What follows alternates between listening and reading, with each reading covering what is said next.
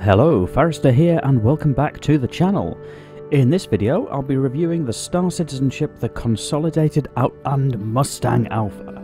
Star Citizen is currently in alpha testing and the Mustang is one of the flyable ships. The Mustang is a basic starter ship described as light freight. I've followed the usual format for this review, splitting into five sections, starting with a ship tour, assessing combat performance, reviewing handling and visibility, looking at the operating and purchasing costs before finally summarising. I've included timestamps in the video description to help navigate to each part of the review. And if you enjoy this review, please do subscribe to the channel if you aren't already. That helps you to be notified of future videos and helps me to grow the audience. Part 1 Ship Tour and Deck Layout. As a small ship, the tour for the Mustang is very quick. The four units of cargo storage are underslung beneath the tail, and access to the pilot's cockpit is via a ladder on the port side. And that's just about it. Part 2 Combat Performance.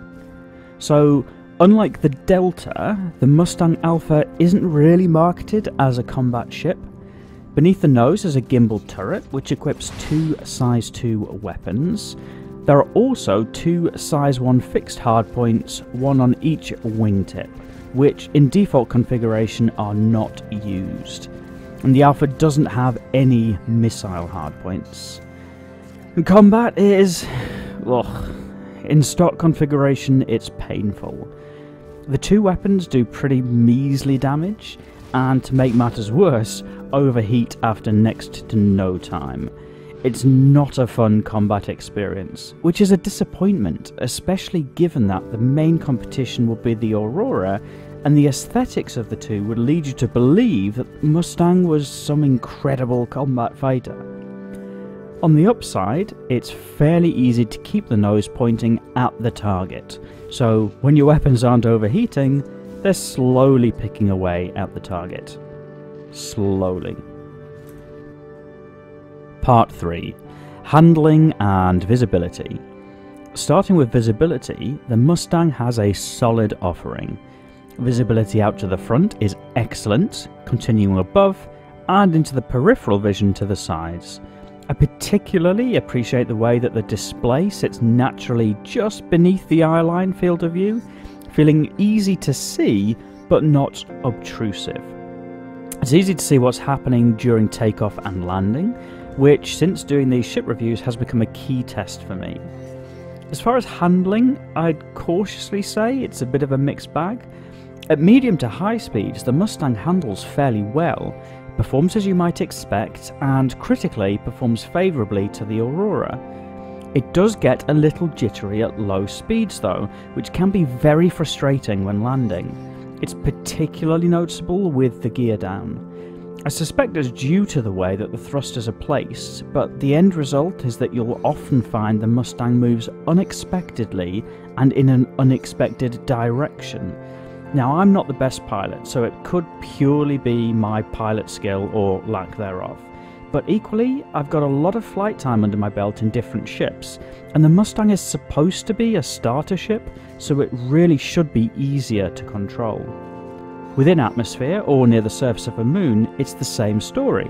Fairly easy to fly at medium to high speeds, but needing a little more caution as the speed comes down. It's still fun to do the low level flying in the Mustang, which I suppose contrasts to the Aurora in the level of confidence and skill needed to do so. The Quantum Drive is fairly mediocre, but I suppose that's the standard for ships at this price point. Part 4 Operating Costs. Thankfully, the Mustang is cheap to refuel, repair, rearm, or even replace. The challenge comes in what avenue you choose to cover that cost. For a starter ship, in the Mustang Alpha, the options are very limited.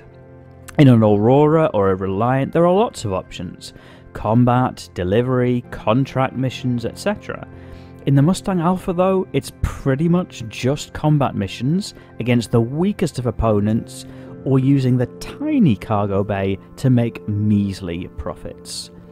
That's because, despite there being a storage area behind the pilot's seat that could be used for boxes, it's completely inaccessible. I spent a good couple of minutes trying to get in there for a salvage mission, but failed completely. I hope that gets fixed, as some of those type of missions are perfect for new starters. And although it's described as a light freight ship, realistically it should be described as ultralight. With just 4 units of cargo storage, each run is going to give very limited opportunity for profits.